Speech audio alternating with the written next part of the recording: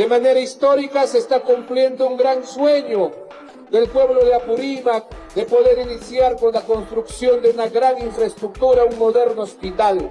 Hemos cumplido, señor ministro, con todos los compromisos que hemos asumido para poder hacer los proyectos realidad, como son las pistas y veredas, el acceso a la infraestructura del hospital, con un presupuesto de más de 4 millones de soles, se ha logrado la firma del convenio para la elaboración del expediente técnico del año pasado, de poder culminar resolutivamente y tenemos en tiempo récord la aprobación de este importante proyecto a nivel de expediente técnico, pero también firmamos el convenio 022-2023 para la ejecución de esta gran infraestructura como es el Hospital de Chincheros. Hoy, señor ministro, con mucha alegría nos recibimos a usted, todo el pueblo de Chincheros, aquí en la región de Apurímac, de poder iniciar esta gran obra que supera los 220 millones de inversión. Porque este hospital lo hemos empezado de cero. Es un compromiso de este gobierno que empezó desde el perfil, expediente y la ejecución que hoy se da inicio, porque somos un gobierno de obras, de palabras, de acciones, y hay un compromiso firme por atender a esta región, tan firme que nunca antes visto una inversión de esta naturaleza, como ya lo hemos dicho y lo reconoció el gobernador.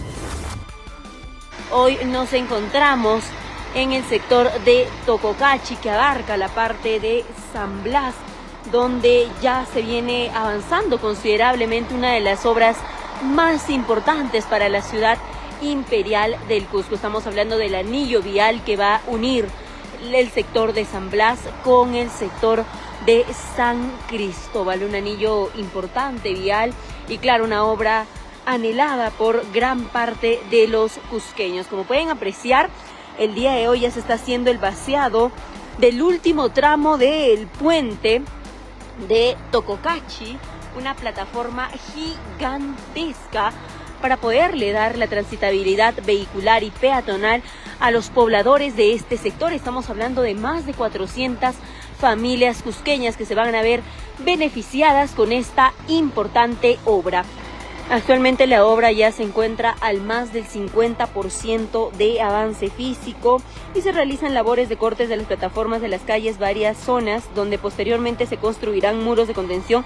Valga decir que los muros de contención, como pueden apreciar desde este punto, también ya se han ido construyendo y no solo en este punto, sino también vamos a seguir recorriendo en breve todo el sector y ya los muros de contención se han hecho en todo el perímetro prácticamente de este anillo vial. Cabe señalar que la parte un tanto más dificultosa de este anillo vial, de esta obra de gran envergadura para la ciudad imperial del Cusco era precisamente poder ya concluir el puente que va a conectar más unos 200 metros más de vía hacia el sector de San Cristóbal. Y hoy por hoy podemos referir que ya el puente está en la parte final se está realizando precisamente el vaciado del último tramo de este gigantesco puente. Anteriormente solo podíamos constituirnos desde este punto, valga decir desde la parte inferior. Hoy por hoy les hemos mostrado incluso imágenes desde la parte ya superior del puente, eh, ya en los últimos trabajos para poder concluir este importante anillo vial. Posterior al puente como tal hay un promedio de una vía de 200 metros para poder conectar la zona de San Blas hacia el sector de San Cristóbal. Para aquellos quienes nos han preguntado también, claro está, este, hacia qué sector precisamente va a unir este anillo vial. Va a ser precisamente hacia la curva que da a la, a la misma subida hacia el sector de Sacsayhuamán. Queremos hacer un hincapié y también mencionar que esta obra, muy aparte de mejorar las condiciones de vida de la población, darle transitabilidad vehicular y peatonal a este sector que antes no tenía ello, no contaba con ello, ningún vehículo podía ingresar hasta este punto. Pues aparte de ello, también con esta obra se está generando puestos de trabajo, valga decir que hay obreros, hay mano de obra local, que son los mismos vecinos también quienes están laborando en esta mega obra por parte de la comuna provincial del Cusco. Un gigantesco anillo vial, un puente gigantesco que va a unir el sector de San Blas con el sector de San Cristóbal. Eh, con un presupuesto de un aproximado de 10 millones de soles que le va a brindar, claro, esta calidad de vida a nuestra población. Un promedio de 400 familias cusqueñas beneficiadas. Estamos hablando de 3.000 a 4.000 cusqueños directamente, pero indirectamente toda la población nos vamos a ver beneficiada con esta importante obra.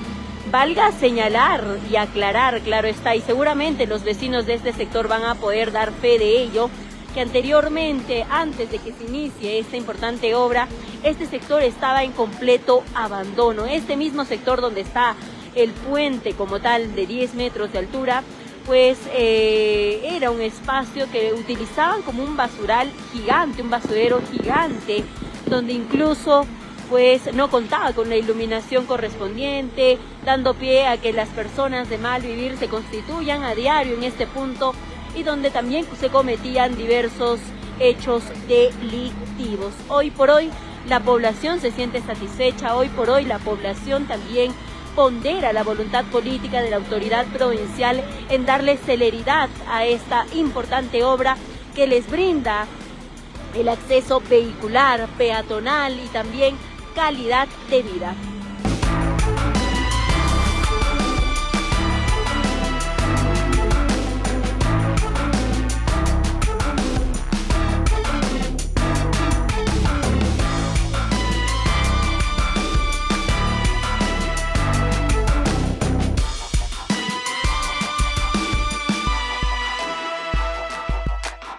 Infraestructura tiene de repente una diferencia de todo lo que hemos construido a nivel de toda la región por la magnitud.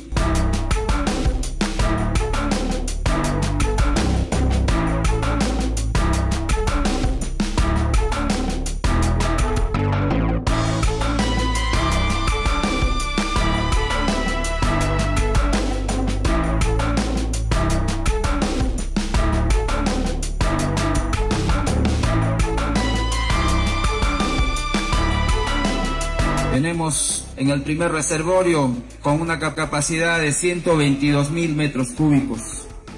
Y acá hay este reservorio con 168 mil metros cúbicos, que hacen de que esta infraestructura, por lejos, sea una de las más importantes de nuestra región de Puno. El gobernador regional de Loreto, doctor René Chávez, inspeccionó la renovación de la infraestructura deportiva en el asentamiento humano Rosa Panduro en San Juan Bautista. El proyecto, con una inversión superior a los 800 mil soles, incluye la instalación del césped renovado y un nuevo techo. El doctor Chávez destacó la importancia de mejorar los espacios deportivos y anunció el desarrollo de 18 IOAR para la región. La infraestructura en desuso durante 15 años busca revitalizar la zona y fomentar el deporte local.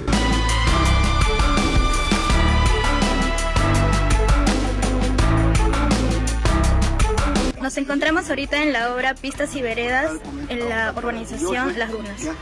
El monto de inversión de esta obra es aproximadamente 3 millones.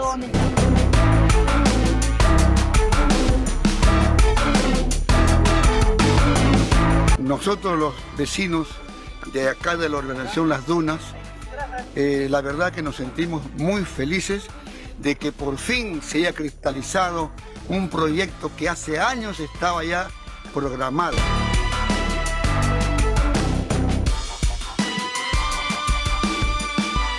Y por eso nosotros nos sentimos felices, contentos de que tenemos ahora una avenida muy hermosa, muy bonita y que va a dar realce a nuestra organización Las Dunas.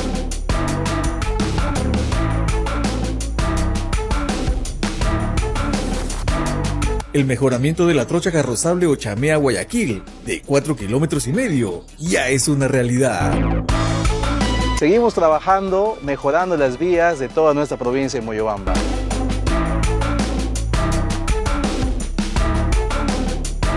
El mejoramiento que se está dando a esta vía de Ochamea, Guayaquil, Río Potreros, muy excelente, al 100%, quedando muy buena. Una buena carretera nos beneficia mucho, por lo que es productos, lo que es salud, el problema de salud, que era un problema muy complicado acá, un enfermo, una emergencia, no había una forma de, sacarlo, había que, pagar carrera, camionetas en tiempo de, de invierno no salían. Anteriormente lo sufríamos, pero ahora este es una vía de accesibilidad para todo tipo de vehículo. Como campesinos, como agricultores que lo necesitaban muchísimo esta vía para trasladar nuestros productos. Y gracias a esta carretera y este tramo ahora en cualquier momento, sea noche, día, lluvia, vamos a poder caminar, pues, ¿no? Agradecer a la municipalidad por arreglar nuestro camino y para poder transitar en carro, ya, porque ya no utilizamos nuestro caballo. En el tramo Ochamé-Guayaquil ya prácticamente estamos al 100%. Correspondiente al tramo de Guineal a Guayaquil estamos en un 30%. Y en el tramo de Limabamba hasta Guayaquil estamos aproximadamente un 80% de avance al día de hoy. Como poblador del caserío de Limabamba estoy muy agradecido a la Municipalidad Provincial de Moyobamba. Como teniente gobernador de Guayaquil, estoy muy agradecido con la Municipalidad Provincial de Moyobamba por mejorar nuestros caminos.